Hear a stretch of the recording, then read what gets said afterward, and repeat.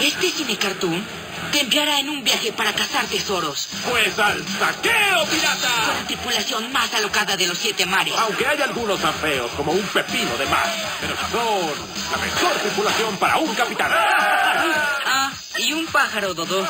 ¿Qué?